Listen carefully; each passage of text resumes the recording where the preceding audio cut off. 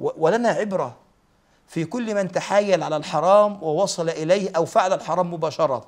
هكذا بدون تحايل. هكذا. أنت عمرك شفته بيرضى بيه بي بي بيدخل فيه ويحاول ينتقل منه إلى غيره منه إلى غيره منه لا يشبع أبدا لا يشبع أبدا.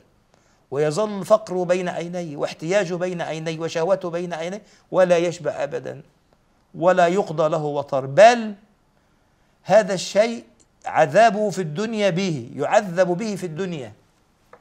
يعذب به في الدنيا. يؤثر عليه. ويهلكه. فالشاهد يعني آلاف الأمثلة مئات الآلاف من الأمثلة في من تحايلوا على أوامر الله سبحانه وتعالى. هل نجوا بفعلتهم؟ هل حدث لهم الرضا؟ هل حدث لهم الاستمتاع لو كان التحايل على شهوة؟ حصل الاستمتاع الحقيقي؟ لا والله. رأينا في هؤلاء أنهم يجدون غصة من الحرام. غصة من الحرام. ويأتون ويبكون بكاء شديدا. وفعلت كذا. وليتني لم أفعل. ليتني لم أفعل. كان عقلي فين لما عملت كذا ولما فعلت كذا؟ وضم إلى آخره. إذا السعيد من وعظ بغيره أيها الكرام المؤمنون. حتى لو فرضنا أن في متعة ولا يوجد فيه متعة الحرام لا يتلذذ بالمعصية إلا سكران بالغفلة كما قال الإمام ابن الجوزي عليه رحمة الله تعالى لكن حتى لو فيه متعة أو لذة آخرها النار لازمتها إيه؟ لازمتها إيه؟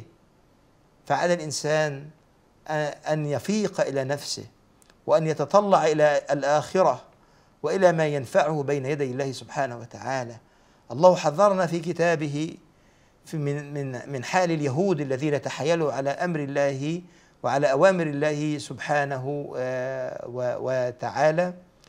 ف قال الله سبحانه وتعالى في شأن أصحاب السبت واسألهم عن القرية التي كانت حاضرة البحر. إذ يعدون في السبت إذ تأتيهم حيتانهم يوم سبتهم شرعا ويوم لا يسبتون لا تأتيهم. كذلك نبلوهم بما كانوا يفسقون. وإذ قالت أمة منهم وإذ قالت أمة منهم لم تعظون قوما الله مهلكهم أو معذبهم عذابا شديدا؟ قالوا معذرة إلى ربكم ولعلهم يتقون. فلما نسوا ما ذكروا به أنجينا الذين ينهون عن السوء فلما نسوا ما ذكروا به أنجينا الذين ينهون عن السوء وأخذنا الذين ظلموا بعذاب بئيس بما كانوا يفسقون. فلما عتوا عما نهوا عنه قلنا لهم كونوا قردة خاسئين. وإذ تأذن ربك ليبعثن عليهم إلى يوم القيامة من يسومهم سوء العذاب. إن ربك لسريع العقاب وإنه لغفور رحيم. فالله يقول يا محمد صلى الله عليه وسلم سل اليهود عن شيء مما حدث لأسلافهم ويكتمونه بسبب تحايلهم على أمر الله عز وجل. فقد شابهوا هؤلاء الذين تحايلوا على امتثال أمر الرسول والاستجابة لهدي الرسول صلى الله عليه وسلم عرفوا أن الرسول حق فتحايلوا على ذلك لكي يظلوا على ما هم فيه نتيجة الأطماع الدنيوية. فيقول محذرا في ناس قبلكم عملوا كده منكم من أسلافكم ماذا حدث لهم؟ اتعظوا بما حدث لأسلافكم. عليكم أن تصدقوا الله سبحانه وتعالى. اسألهم عن القرية التي كانت حاضرة البحر اللي بتعيش على صيد الأسماك وكنوع من الآثار والأغلال التي فرضت عليهم. الله سبحانه وتعالى حرم عليهم العمل في يوم السبت بالكلية بسبب عدم الاستجابة لأوامر الله عز وجل فكنوع من الآثار اللي فرضت عليهم حرم عليهم العمل في يوم السبت بالكلية. بالكلية.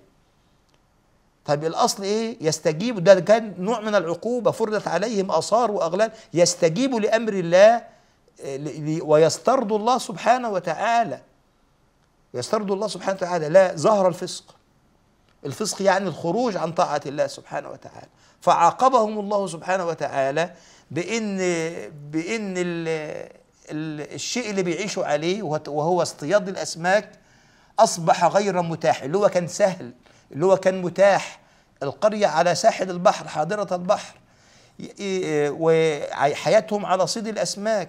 بيصطادوا ياكلوا ويشربوا ويتاجروا ويجيبوا فلوس وده متاح على طول والأمر سهل. لما ظهر الفسق والبعد عن أوامر الله وعدم الاستجابة لأوامر الله سبحانه وتعالى فالله عز وجل منع السمك يظهر لهم في اليوم الم في ال في, ال في الأيام التي يحل لهم العمل فيه. وفي الأيام اللي هو محرم عليهم العمل يجدون الأسماك تظهر أنفسها. واسألهم عن القرية التي كانت حاضره البحر إذ يعدون في السبت إذ تأتيهم حيتانهم يوم سبتهم شرعا ويوم لا يسبتون لا تأتيهم. يبقى اذا يعدون في السبت يعني يعتدون على الحكم الشرعي اللي ربنا أمرهم به في في يوم السبت بعدم العمل في هذا اليوم. ده يوم عبادة لا يجوز العمل فيه بالكلية. إحنا كمسلمين حرم علينا مثل هذا في وقت صلاة الجمعة. في وقت صلاة الجمعة. فيجب على الناس أن يمتثلوا أمر الله إذا استمعوا إلى إلى الأذان لخطبة الجمعة ويتركوا البيع بالكلية. يا أيها الذين آمنوا إذا نودي للصلاة من يوم من يوم الجمعة فاسعوا إلى ذكر الله وذروا البيع. خلاص لا يجوز. بيع محرم. ساعة الجمعة ده بيع حرام. راجل مكلف حرام إنه يبيع ويشتري في وقت الجمعة. وللأسف كثير من الناس أيضا يتجرؤون على مثل هذه الأوامر. ولا حول ولا قوة إلا بالله. فهؤلاء اعتدوا على على على الأمر ده. الله اختبرهم سبحانه وتعالى إذ تأتيهم حيتانهم يوم سبتهم شرعا. الأسماك قطعا لا تعرف السبت من الحد من الاثنين بالثلاث لا تعرف أيام الأسبوع. ولكنه أمر من يقول للشيء كن فيكون. فجل جلال الله وجلت قدرته سبحانه وتعالى. إذ تأتيهم حيتانهم يوم سبتهم شرعا. بتظهر نفسها أنا موجود السمك موجود. ويوم لا يثبتون الأيام اللي اللي, يجوز إن هم يصطادوا فيها لا يجدون في البحر سمكة واحدة. يبعد ويمشي لا يجدون سمكة واحدة. فهنا لماذا ده اختبار بضيق الرزق؟ بضيق الرزق الحلال. الحرام موجود سهل. وده إحنا ابتلينا بيه في هذا الزمان. المعاملات المحرمة كتيرة وسهلة. والمعاملات الحلال فيها نوع من الصعوبة. لماذا هذا الاختبار من الله سبحانه وتعالى؟ ما كان الأمر قبل كده بيصطادوا عادي والأمور طبيعية. لماذا يأتي الاختبار من الله أحيانا على بعض الناس أنه يجد دائرة الحلال التي هي في الأصل كثيرة يجدها غير متاحة ويجد دائرة الحرام التي هي في الأصل قليلة يجدها متاحة؟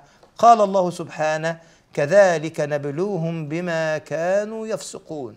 يعني كذا يكون الاختبار من الله بما كانوا يفسقون.